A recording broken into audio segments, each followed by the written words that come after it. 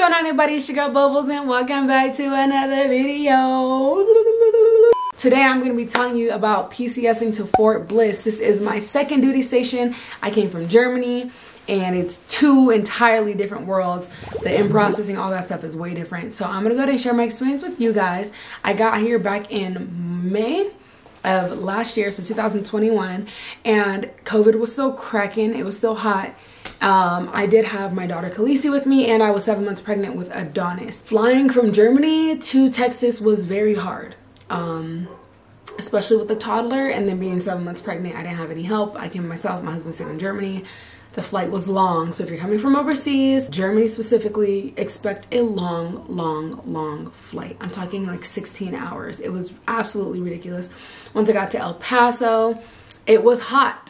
So prepare yourself for the weather if you do not like hot weather. It's a disrespectful type of hot. I'm talking like there's no trees out here, there's no grass out here. All there is is mountains, sand, and a lot, a lot of wind. But I like the environment. You know, I do miss the trees and stuff like that. I'm from California, so I'm not used to this type of weather. I'm used to the heat, but I'm not used to not seeing no green, you know? So I got here and I was like, this is like what is it called? Um, this is like Pride Rock off Lion King. Like that's what I thought it was like. It's just dead. Like it was just dead. I've kind of adapted to it now because I'm just so used to not seeing grass. I'm like, okay, whatever, fuck it. Like I don't, I don't have to see grass. But that was a huge shock for me. Once I did get here, I did not go to like in processing right away. I was put into a hotel and I was in the hotel for at least like I think a week before I started in processing. I do not know why I was in there for that long, but I'm assuming because COVID and then um yeah, so I was in the hotel for like a week. And then once I reached out to my chain of command and stuff, oh, because I was on leave. That's why. I was on PCS leave. Duh. So once my week of PCS leave was over, I reached out to my chain of command. I was like, hey, I'm ready to in process, blah, blah, blah. I got very, very lucky, you guys. And I think this happened because, like I said, I had Khaleesi with me and I was seven months pregnant. So trying to in process with a kid is so hard, especially a little kid like me. Like if it was Damien, it probably would have been easier. He'd be able to sit down and just stay quiet. But Khaleesi's one. Like she was not gonna sit down. She's cranky. She wants to sit on my lap. She wants snacks, and it was one of those things where they were just like, okay, here, this is the paperwork. We just need you to sign this. They let me front load for everything. I didn't have to wait in any lines. Um, there were times where like when I had to go to CIF and stuff, like there were drill sergeant, not drill sergeants, girl, you're not in basic. There were sergeants and like other like officers there that would help me hold Khaleesi and keep her entertained while I'm getting my CIF gear and like holding my stuff for me. They were very, very helpful here. I'm not even gonna lie to you guys. They were very, very, very helpful. I don't remember the people that it was that helped me, but shout out to Fort Bliss in processing because y'all made my life so easy and I didn't have to worry about nothing. I was like so stress free, which was nice. Um, once I got all my gear and stuff, uh, you do have to in process with finance. I got to front load for that like as well. When you PCS, you have to do like your DLA, TLA, all this stuff. It's basically money that you get from the government for like moving to wherever you're gonna go to. So in order to move from Germany to Texas, you need money for food. I need money for like my kids. Like there's money that I need. So you basically use your like government travel card and swipe that thing as you need it basically. And whenever you're done, you get to where you get, the government gives you money, you basically pay the money off on the card. So the less money you spend on that card, the better. Granted, I didn't know that, but I still got a lot of money. But if I knew then what I know now, I'd probably chill with the Uber Eats and stuff because I would probably have like way more money. But it is what it is. Now I know for next time. Um, so you don't have to worry about being like, oh my god, I don't have money to PCS. Like you're gonna get a government travel card and that'll take care of everything. I'll take care of you and your family. But yeah, so that's it as far as traveling. I did have to find, uh, I'm gonna kind of backtrack. I did have to find my own hotel when I was PCSing here, which was really difficult because like I said, I was in Germany. So trying to be in Germany, looking on the internet, trying to book rooms, stuff like that, the time zones are completely different. It's exact opposite. So when I was up, everybody in the States was asleep and everybody in the States was asleep. I was up and it was just, I had to stay up late some days and all that crazy stuff. So I had to find my own hotel. This is usually what your sponsor helps you with. My sponsor didn't really help me do any of that. It was kind of one of those things where it was like, hey, I'm here. I'll pick you up from the airport. And like, that's it. That's kind of like all I heard from him after that really. And then when I moved into my house, he brought me to go to my house. But that was basically it. Um, if I was a sponsor, I feel like it would have been like more hands-on and more like involved in the soldier that was coming and more helpful, but that's just me, no shade, whatever. Um, and then when it comes to housing as well, I had to find my house, the house that I'm in right now, before I got here. I was online looking for houses in Fort Bliss around the area. And it's really hard when you don't know the BAH. You don't know what the houses look like in person. I can't come by here and check them out and make sure they're not all moldy and jacked up and stuff. So that was really stressful. So I just came to a solution. I was like, look, I'm just going to live on base I can't really go wrong with that. My bills will be paid, and I'll just if later on I want to decide to move off post, then I can, and it won't be no beef with nobody. You know what I mean? So that was that and i i'm glad i did that because i love my house like i really do. I don't think i'm leaving out of this house so i like pcs from texas because i just don't see the reason for the hassle right now. But anyways okay so besides that weather. How do i like it out here? Like i said summers are hot very hot. Like they're so hot you just want to stay inside. And i i don't know if it was like extra extra hot because i was pregnant but i just like i don't know. I just felt like it was too much. But it's nice if you want to go outside and go to the beach, but there's no beach out here. So if you want to go to the pool and all that, it's beautiful. Wintertime, it gets cold out here, like cold as hell. Like going to PT and stuff, it doesn't snow, but it will be icy. You know what I mean? You'll be in the 26, 22, 27, like the weather does get cold. So it's not one of those things where it's like, oh, I'm going to PCS in Texas. I'm not going to have to deal with the cold. It does get cold here. Um, like I said, there's no trees, there's no like deer running around. Like all you see, there's a lot of snakes, there's a lot of roaches, there's a lot of spiders. It's the desert. Literally, it's the desert. I don't know how how else to explain it. All you see is tumbleweeds. You see uh, dirt tornadoes, and it's just really, really dry and like dead out here. Um, that sounds so terrible, but it, it's not as bad. Like I'm making it sound so shitty. It's it's really not that bad, you guys. It's it's not that bad. I don't know. as far as base itself, uh, I have been to the barracks. The barracks are really nice. I these are the nicest barracks that I've ever seen. Nothing compared to, to like when my barracks room was in Germany. You have like your own separate rooms. You have a full kitchen.